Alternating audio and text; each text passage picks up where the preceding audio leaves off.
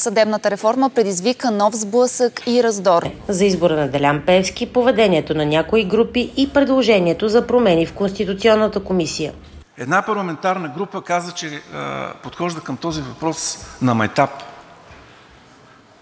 Друга се отрича от е, това, че с е, нейното неучастие е, стана този избор.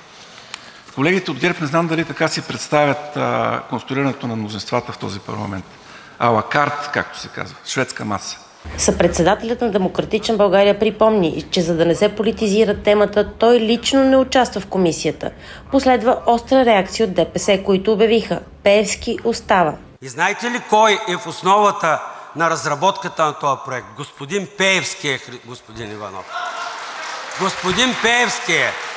И ще бъде господин Пеевски в тази комисия. Реакциите на другите партии бяха разнопосочни.